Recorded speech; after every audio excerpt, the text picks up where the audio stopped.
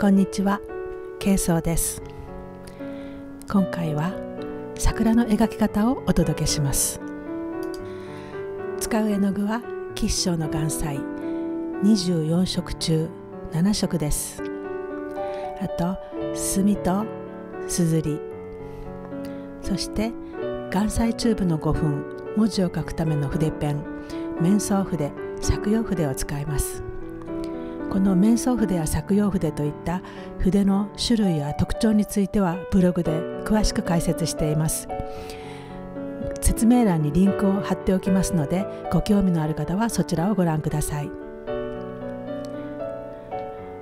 はがきは画線紙にじみの少ないものを使います。まず墨を吸っていきましょう。すずりに水を少量落として墨をゆっくり円を描くように優しく吸っていきます。しばらく吸っていると墨のいい香りが漂ってきます。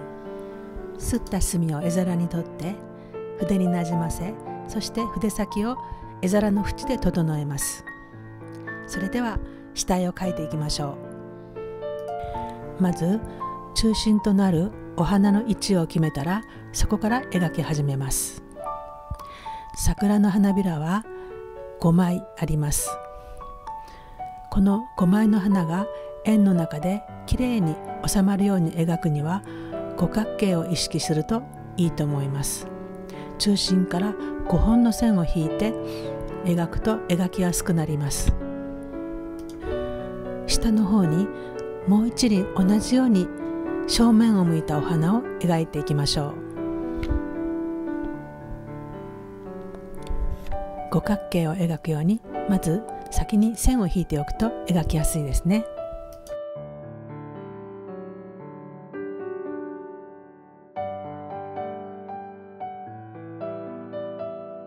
続いてお花の下から覗いてる花びらを描いていきます。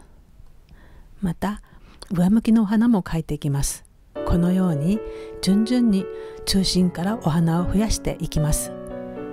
いろんな方向を向いたお花を描くと変化が出てきて面白いですね。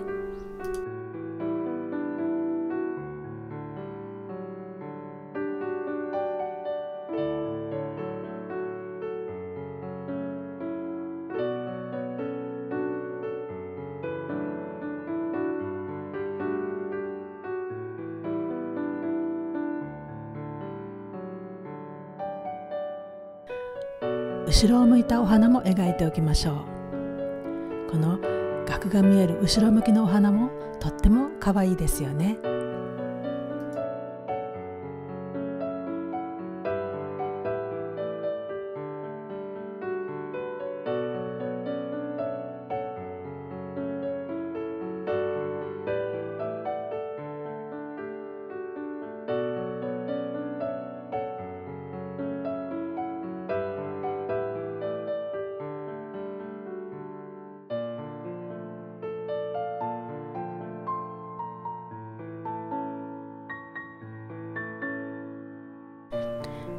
桜の枝は筆を少し寝かせ気味にして強弱をつけながら描いていきましょう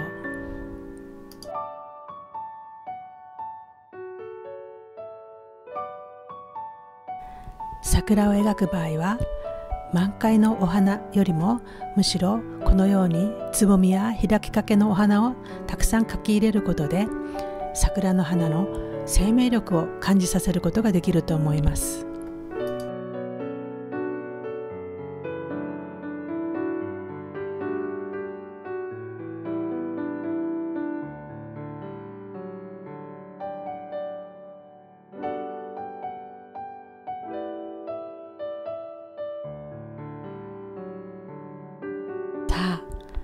つぼみやお花をたくさん盛り込んで豪華な桜にしていきましょう。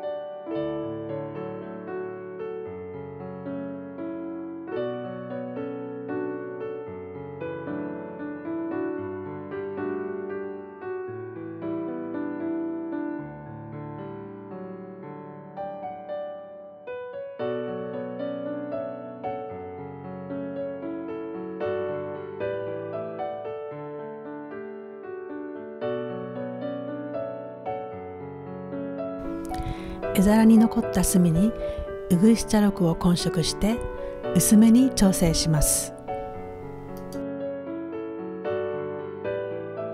この色でお花の中心とまた影になる部分を水筆でぼかしながら塗っていきます。水筆というのは水だけを含ませた筆のことを言います。今回は借用筆を使っています。水筆の水分はしっかりと布巾などで切っておいてくださいね。お花の中心や影を描くことによってお花がより立体的に見えるようになってきましたね。後でここにはしべを描いていきます。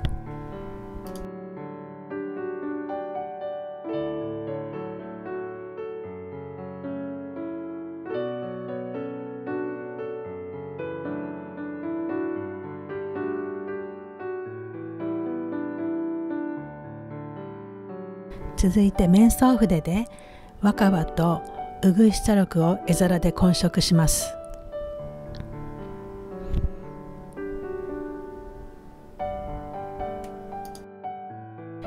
この色でお花を支える貨幣と呼ばれる軸になる部分を塗っていきます。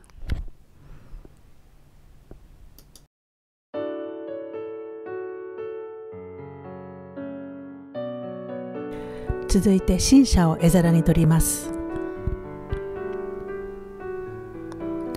この色でお花やつぼみの額を描いていきます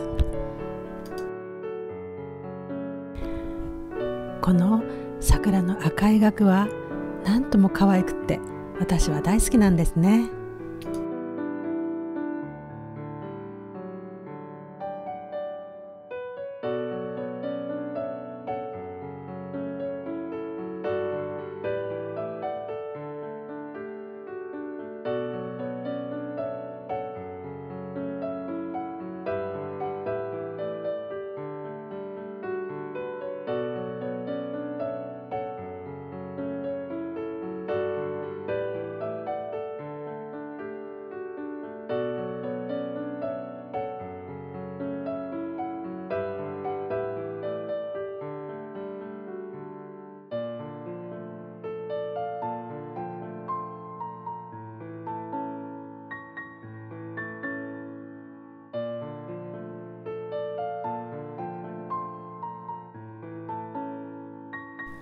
続いて削用筆に持ち替えて黄土を絵皿に残った墨と混色します。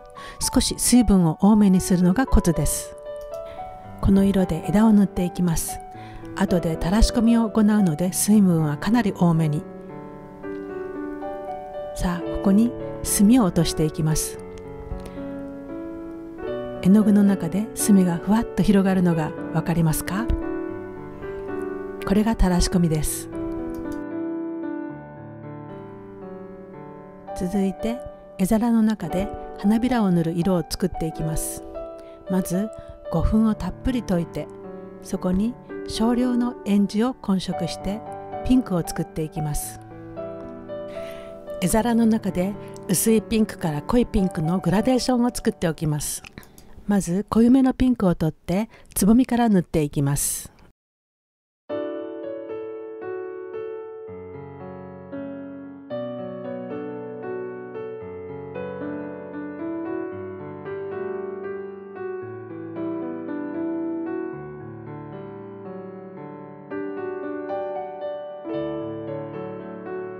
続いて花びらを塗ります。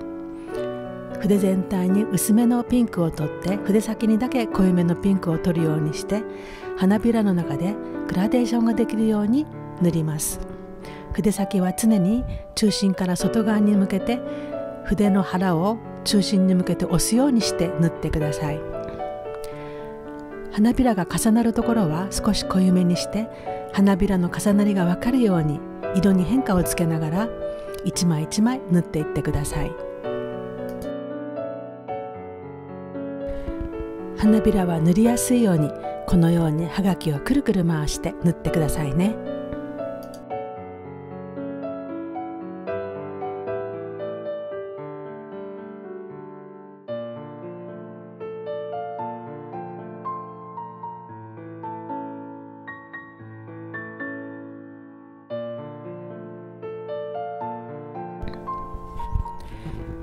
1枚の花びらの中でも色に変化をつけますがお花が遠くなるほど薄くするというふうにお花一つ一つにも色の変化をつけて塗っていきます。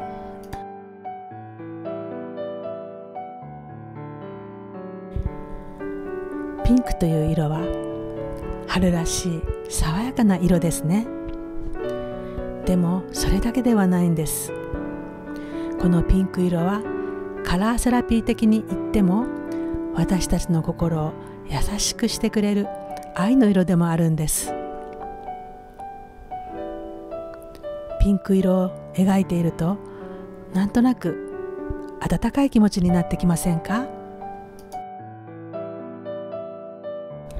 さあこの優しいピンク色で癒されながら花びらを塗っていきましょう。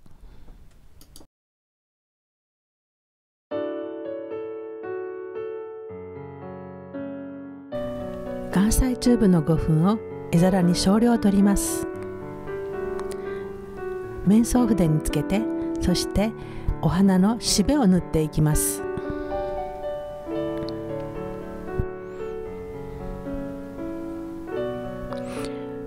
しべを塗る時に花びらと色が混ざらないようにお花が完全に乾燥してから塗ってくださいね。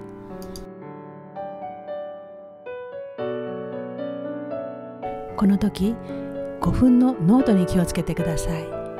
5分の濃度が濃すぎても薄すぎても線状に描くことができないからです。ちょうどいい濃度を見つけてくださいね。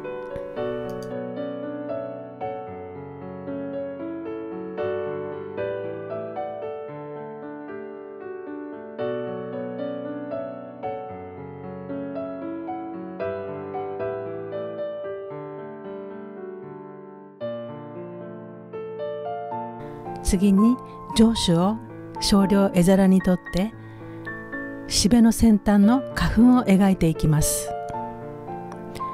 筆の先端はできるだけ尖らせて描くようにしてください。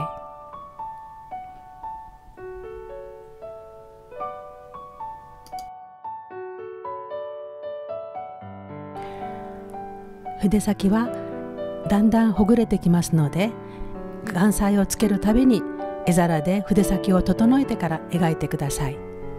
丁寧に描きます。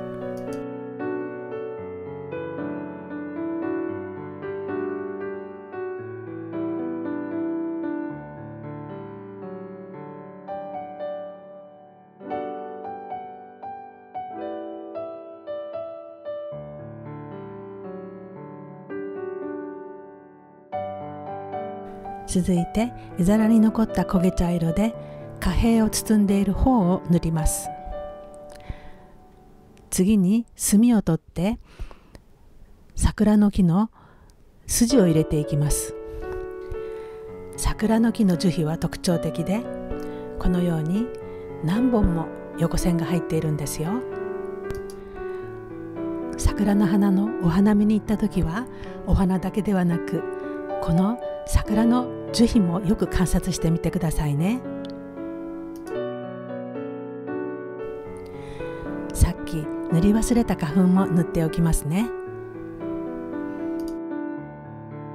はい。筆ペンで文字を入れて印を押したら完成です。でもこのここの部分が少し物足りないので花びらを描くことにしました。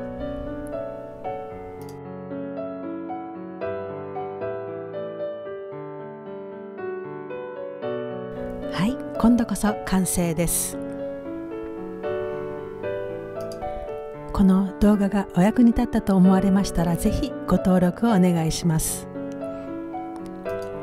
ブログ「爽やか木彩画教室」では YouTube で語りきれなかった画材情報や描き方のコツなどをたくさん掲載しています。説明欄にリンクを貼っておきますのでご興味のある方はぜひご覧ください。ご視聴ありがとうございました。